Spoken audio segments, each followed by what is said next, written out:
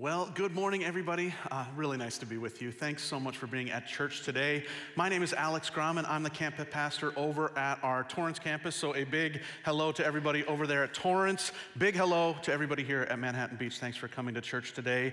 Merry Christmas. I don't think it's too early to say that, especially if you're a Dodger fan, right? Merry Christmas uh, to you this week. I know you've got everything that you were wishing for this year. Um, Hey, it's a wonderful time, a wonderful season, and during this Christmas season, for this whole month, uh, we have been in this series of messages called Kingdom Come, and it's based on the Christmas stories, the Christmas narratives that we read in the Bible about Jesus' arrival on that very first Christmas. Uh, the, one of the earliest stories in those narratives comes from an angel uh, visiting with this young woman, Mary, and he promises, the angel promises Mary that she's going to have a son, and it's an amazing amazing, uh, wonderful moment in the Bible. But then he makes, this angel makes a very special promise to her about her baby boy, Jesus. He says, not only will he save people from their sins, but then this very distinct promise comes. He says, his kingdom, Jesus' kingdom, will never end.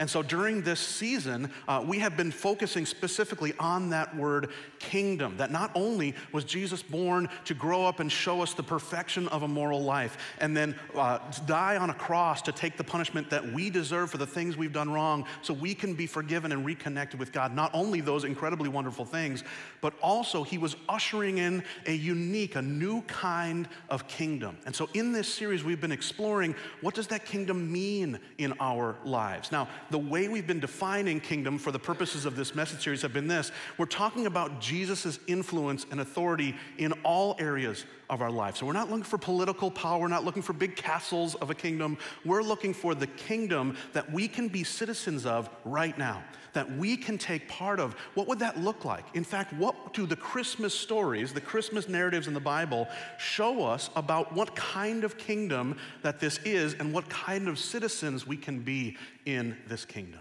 Uh, today, we're going to talk through uh, another one of these early uh, Christmas narratives from scriptures. And here's the one we're going to look at. We're going to look at the angels and the shepherds. Uh, and you can find that in the book of Luke, chapter 2. Now, I consider this to be the most famous Christmas story in our contemporary world, and that is for one very specific reason. This is the story that Linus reads to people at the end of a Charlie Brown Christmas. Now, just for show of hands, have you, has, who has seen a Charlie Brown Christmas? Okay, some of you. Uh, I really want to give you the assignment this year uh, of watching a Charlie Brown Christmas. It's a short, I think it's 22 minutes long, uh, animated cartoon from the comics of Charlie Brown brought to life. It was made in 1965. I'm telling you this, some people are like, yeah, of course we know. But there are generations that have not watched a Charlie Brown Christmas, and they should Am I right? Uh, the theme of the show is that Charlie Brown isn't feeling Christmas that year. He doesn't understand the meaning of Christmas. At the end of the special, he asks, doesn't anyone know what Christmas is all about? I'm spoiling it here, but you should still watch it. And his buddy Linus says, I can tell you, Charlie Brown. I can tell you what Christmas is all about. And he goes and he reads verbatim from the translation that was often used at that time the story from the Bible that we're about to read and explore today. It's an incredible moment of television history. By the way, if you do want to watch it, by the way, that's your assignment, so everyone should watch it this season. It's on Apple TV Plus. Another show of hands, how many people subscribe to Apple TV Plus? If you don't, Good job, some of you, but it's really expensive nowadays, isn't it? Hey, Tim Cook and I worked it out though, and next weekend, the Charlie Brown Christmas special is available for free to all viewers, technically in the whole world, but I think it's just for our purposes here. I want you to watch it because the idea of a cartoon Christmas special ending with someone reading a verbatim passage of Scripture is revolutionary. It was then, still is today. In fact, that's why I think it's the most famous because even for people, tens of thousands, hundreds, maybe millions of people who have never read the Bible, millions of them have heard this part of Scripture uh, about the angels visiting the shepherds. So that's, that's an important enough reason to watch a Charlie Brown Christmas special. But I also want to have you look out for one more thing that even if you've seen it many, many times, you may not have noticed, and it has to do with the credits of a Charlie Brown Christmas. Charlie Brown Christmas, of course, is an animated special, but if you watch the end credits, you'll notice that there are no animators listed. Instead, Charles Schulz, the creator of Charlie Brown, and the producers of the special decided to give them a different title uh, for the animators for their special. So here's what it is. I know it's hard to see up here, but they have labeled them not as animators, but people who provided graphic blandishment. That's how they describe them. And this description, graphic blandishment, has piqued the interest of those who stick around the credits since 1965. Why did they decide to call these animators graphic blandishmenters. And the reason is so fascinating because blandishment sounds like it has uh, its roots in the, in the term bland. And that would seem like a lowly way to describe the good work that these animators did on this Christmas special. But it also, if you look into the deeper definition of what blandishment means, it is based on bland, but it's almost this idea of being so humble that it's endearing. That you do bring a blandness that brings comfort to people, that peps something bland up by how endearing you are in that. And it's a perfect description of a Charlie Brown Christmas special because Charlie Brown himself, that's who the star of this show is, Charlie Brown, look at him there. Charlie Brown is a humble guy. Charlie Brown is uh, overly trusting of the people in his life, often to his detriment. In fact, Charles Schulz, the creator, described this character as someone far more familiar with losing than winning. Now, what I want to say is that Charlie Brown is all of us.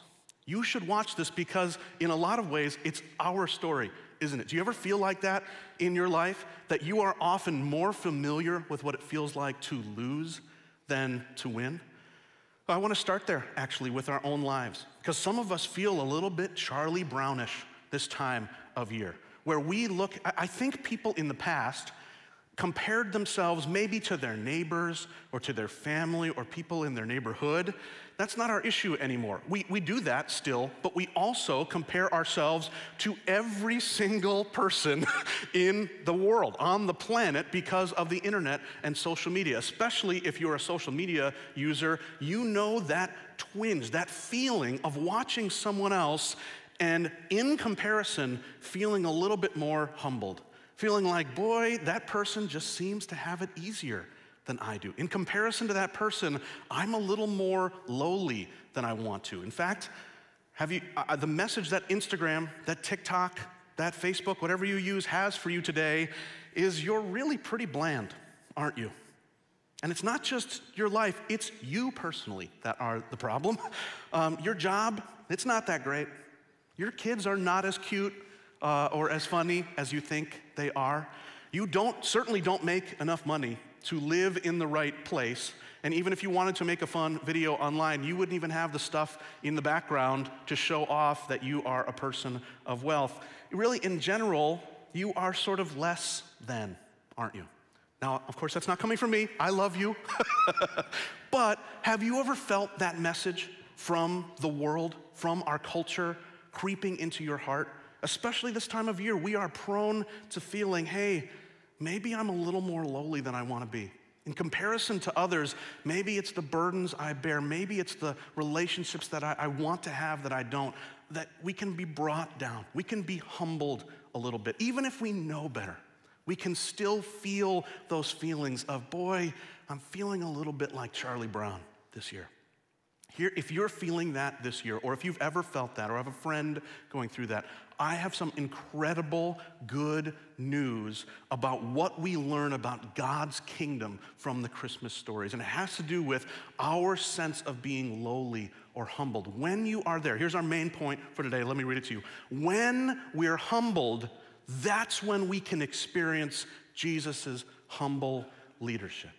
We spend so much of our lives trying to avoid this feeling that we were, are lower rank than other people, where the message of Jesus' kingdom that arrived on that first Christmas day is that humility is the highest honor that Jesus himself comes with humble leadership and he doesn't bring that message to people in mansions. He doesn't bring that, pe- that message to the highest politicians, the most famous people of that time. He brings his message of salvation to the lowliest people possible.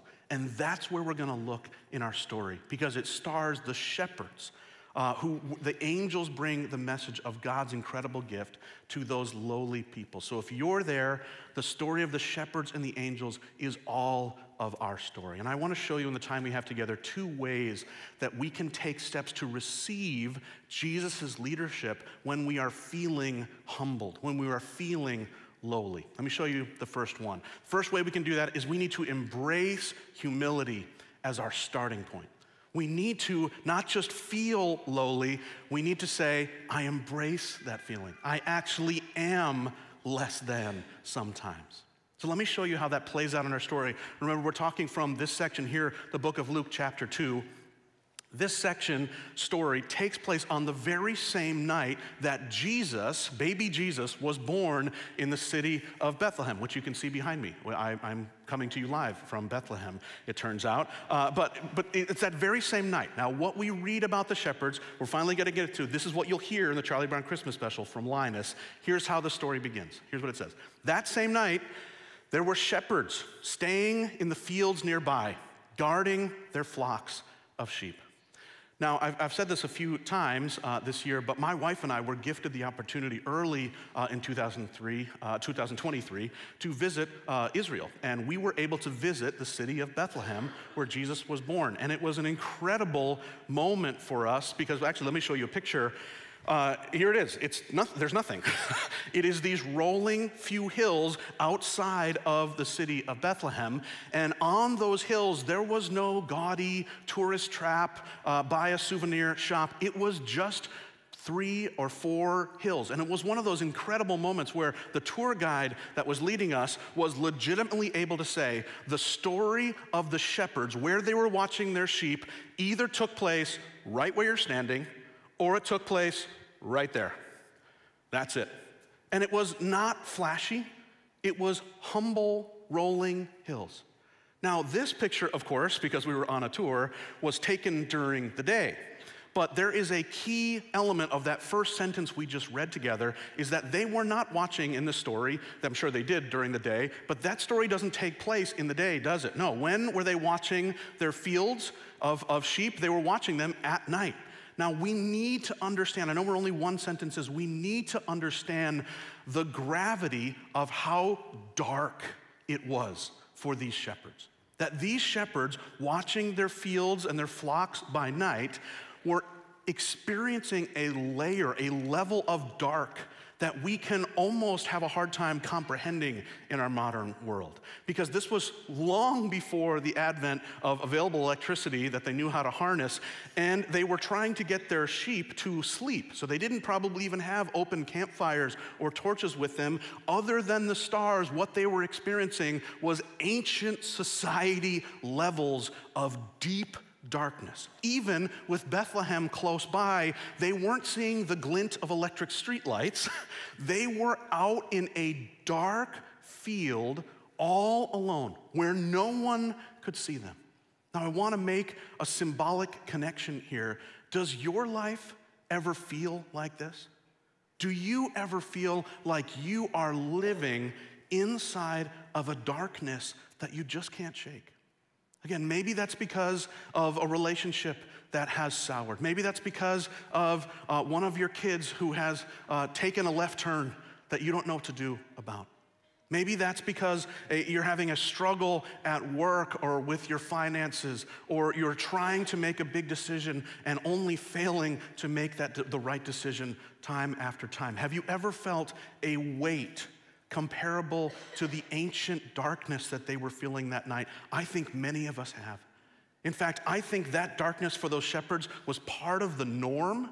In, in our culture, again, symbolically, we can feel like darkness is the norm for us. I mentioned that we took that trip to Israel. Now, even the mention of Israel is filled with a weight because we know that there are battles, people losing lives daily in those same places, not far from those rolling hills that I was just able to point at. We know that some of you are in the Redondo uh, School District and faced some fear this week of some, some challenging situations at the high school. We're praising God for no violence, but at the same time, I know that we've been praying along with many of you who have felt a local darkness that you're struggling with. Each one of us could say, despite the world blasting us in the face with its artificial light, that sometimes we feel like we're living in a place that could be defined by dark. If you are there today, I want to encourage you to say, Yes, that's where I am. Because an admittance that we often try to push aside, the admittance of this dark place that you might be in, is the perfect place to experience the contrast that is about to happen in the lives of the shepherds. We're not only going to be inspired by the darkness that they must have felt, we're going to be inspired by the light that God brings into their darkness and transform it. Here's what happens next. Remember, they're out in the fields, they're alone with their sheep. It's pitch black, but then, here's what Luke says suddenly, an angel of the Lord appeared among them. Sometimes we think of this angel above them, far away, right? No, among the shepherds and sheep, there's this angel. And what's he doing? The radiance of the Lord's glory surrounded them. They were suddenly inside of what almost seems like a palpable light, a brilliance of God's glory. They were what? They were terrified. Understandably so. But the angel reassured them don't be afraid. He said, Yeah, right, angel. I mean, this is that moment where they are taken from absolute stillness and darkness into God's glory. We hear other stories in the Bible of people who got to glimpse God's glory. Moses, the ancient patriarch, got to see part of God's glory, and his face, the skin on his face, glowed for several days. That doesn't even make sense. That being able for humans to experience the radiance of God's glory is madness, is overwhelming. But the, the, the necessity of God putting them in a dark place so that when His radiance appears, it is life transforming, is what we need to beg God for. We need to say, God, that's what I need in my darkness. I don't need some wealth. I don't need some prestige. I need your glory and healing light to fill me up. That might even be a scary proposition, Lord, because of how much I need your transformation in my life. But God's message through this angel to the shepherds is the same that he has for you and for I. And don't forget, here's what it is He says, Don't be afraid. Don't be afraid. You live in a dark world, but I am greater than the darkness. God's light destroys, eliminates the darkness. Now, I wish I could promise you that it would be as instant, as unexpected as it was for those shepherds, but I still think we can, think we can take inspiration with inviting God to bring His light, to turn, to reorient ourselves towards His glory, focusing on Him and His goodness, not our own, but instead to let Him. Maybe that's something you pray for this whole month of, Lord, fill me with your light. In my dark time that I've been, will you fill me with your light? In fact, I have an action step that I would love for you to participate in. Here's what it is I want to challenge you to write out the ways that you feel low. What are those things that are in your life that are making you feel like you're in a low, in a dark spot? And then consider how those make you a target of God's love, not a hindrance to it. The world has a message to you that is, you are messed up. You do not have things together. And guess what? It's time to rebel. And it's time for us to say, You're right. I am a mess. I don't have things together. But that isn't a bad place to be. The world means that message to break us down. We need to say yes, but then that makes me a target of God's humble leadership and love. That is, I am exactly who God came to rescue in my darkness. It can be the beginning point of understanding Him in a new way. Maybe for you, I don't know if this resonates with you, I feel like our house is messy all the time. It's no one else's fault but mine. But I put things down and I do not pick them up. I stack laundry and I do not fold it. It is just there. Do you have the piles that we have at our house? Please tell me you have the piles that you have in my house. And I feel like, how is everyone else doing this? how are you all pulling this off? I feel low about that. In my job, I keep making mistakes. Do you make mistakes in your job? And then you're like, oh, I let that person down again. I didn't respond to this thing, and then they had to call me out on it. I, I'm, I'm trying, and yet I'm having these notches where I'm like humbled moment after moment. But the difference is, I can learn a lesson from these shepherds to say, when I'm humbled, Lord, that's why I need your rescue. Remember that survey we took a few weeks ago? Some of you got at the end of that survey a, a result that was called trusting which meant that in the, a lot of areas you are really thriving in connection with God, but you're struggling in your finances. And the survey labeled that as trusting, not as, oh, geez, you better figure this out because finances are really important. The result was, hey, the challenges you're having in your finances are the opportunity for you. You are the target of God's love then. If you're feeling lowly in that way, keep trusting God. That's not a hindrance to God's love. That makes you uh, fully available in your humble place. So that's the first thing. It can be the beginning spot, humility can, to experience God. Here's the second one. We need to do this. We need to use humility as a catalyst for mission. Uh, Sometimes in our humility, we are on the perfect spot to find our life purpose, to engage with sharing God's love, not just in our lives, but with other people around us. And that comes again from the shepherds. I want to show you another. We're going sentence by sentence sort of today. Here's the next thing that the angel says. Remember, the angels, the glory, God's glory is shining all around. He says, Don't be afraid. And then here's the next sentence with the angel's message. angel says, I bring you, the shepherds, good news that will bring great joy to all people. Now, again, I, I know there only one more sentence, but I want to focus on that phrase to all people. I want us to understand what the shepherds must have heard when they heard that phrase. Because these were not socialites. These were guys working a blue collar job at best out in the fields during the night shift. These were not guys who went to the local evening parties and got to know a lot of people. They were people who were out in the fields. They had to work. They couldn't go to those parties. And when they were done with their night shift, they didn't come home and interact with people in the town square because they were really social people. No, they came home smelling of their night, exhausted and smelly from their time handling sheep. They probably were people that, in addition to feeling darkness sometimes in their lives, were often associated with here's another word they probably felt isolated. They probably felt alone. Loneliness was probably part of the shepherd experience. But God sees these guys. And inside of the promise that God is bringing through this angel, remember the angel, let's bring it back up. The angel builds in a movement of God. He says, I bring you guys good news that will bring great joy to all people. He has built into this message a move for these shepherds from isolation to connection, from isolation to mission. Sometimes we're like, I have to get to a certain level of Christianity, a certain level of getting my life together, and then I'll share the good news with a friend or a neighbor. God is saying it's exactly the opposite. When you are humble, when you are at your lowest point, that's the moment He may want to use you to be part of His mission. Because you know who else feels that all the time? Everybody. Everybody feels I'm low. There's no way that God could love me. And you are this person who has the good news to bring to all of those people. Let's look at what the good news is. Here, it's incredible what the angel says. Here's the message for all those people the Savior, yes, the Messiah, the Lord, has been born today in Bethlehem, the city of David. Up to that point, it is a grand message. The Messiah has come in David's city, the ancient patriarch. His heir has finally come to bring this kingdom. What a huge, important message. But then there's this twist. He says, Here's how you'll recognize him you'll find a baby wrapped snugly in strips of cloth, lying in a manger. What a twist.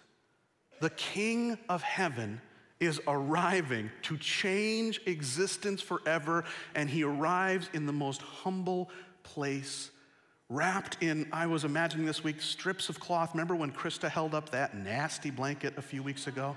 He's wrapped in Itchy the blanket and lying in a place that animals should be eating. The shepherds were probably like, What are you talking about? It's an incredibly, the humble God goes to humble people and says, The humble kingdom has arrived. Your isolation can end because now I am sending you out with a message that lowliness is a kingdom value. I want to just for a second take kind of a left turn here uh, just to tell you, to read you the next part of the story because things go nuts. It gets wild at this point in the story. Remember, up to this point, there was only one angel.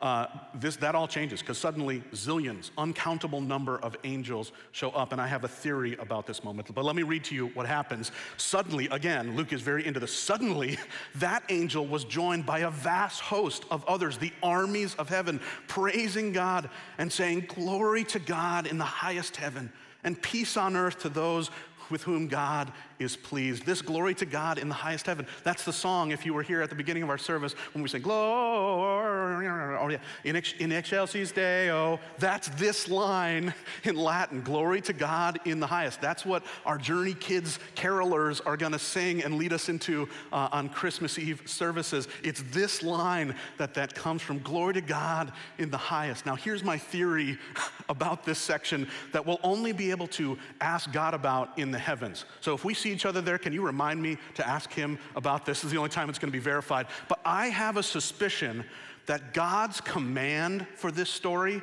was only to that one angel. He was like, hey, one angel, I have a job. I want you to send, I want to send you to Bethlehem so that you can tell these shepherds uh, that I've arrived. I think that was the whole plan. And these angels, this was just spontaneous. They couldn't get enough of the odd, incredible, glorious plan that God had, and they're like, we're going to.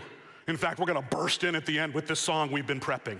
Um, because they just show up in this incredible way. How odd, how curious the human race must be to these angels. How unique. They know who we are. We are flimsy, fragile, flawed. I didn't mean for that to be so alliterative, but it was beautiful, wasn't it? We are people who are broken and messy and sinful, and God shows up as one of us to rescue us. I can imagine those angels are like, we gotta come up with a song. Glory. They figured that one out for us. Listen, let's get back because the, right after this, these angels, who I think were unbidden, disappear.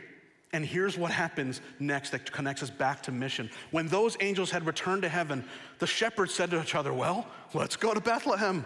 Let's see this thing that has happened, which the Lord has told us about. So they hurried to the village and they found Mary and Joseph, and there was the baby lying in the manger. Their socks were blown off, but it didn't end there. Here's what they did next. These lowly, humble guys, after seeing him, the shepherds, they told everyone what had happened and what the angel had said to them about this child. All who heard the shepherd's story were astonished, and Mary kept all these things in her heart and thought about them often. And then the shepherds went back to their flocks, glorifying, praising God for all they had heard and seen. It was just as the angel had told them. These were humble guys. They head back to their humble situation. They took this message and they didn't just keep it, they sent it to everyone. They shared the good news of God's presence and rescue in their lives. And let me, uh, let's just review what we talked about today here as we get to the close. When we are humbled, in that position of being lowly, of being humbled, that's when we can best experience Jesus' humble leadership. How? When we can embrace humility as our starting point and use humility as a catalyst for mission. I want to end here with just really focusing on that mission. Um, we, we do this on purpose. Uh, let me show you an action step that I will not surprise you here in the Christmas season. Here's what it is I want you to invite someone else who's in a humble spot to our Christmas Eve services.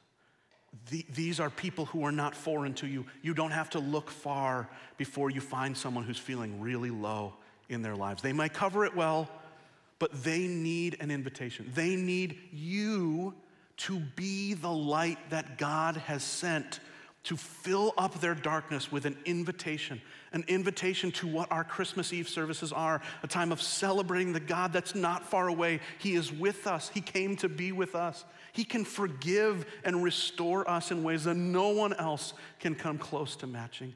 And not only that, but they will not be alone. They'll be among other people along on this journey of looking for that light. Please consider, let, let God inspire you to consider who is it that I wouldn't this year come alone with my family, but instead I would have my radar up because man, am I feeling humbled.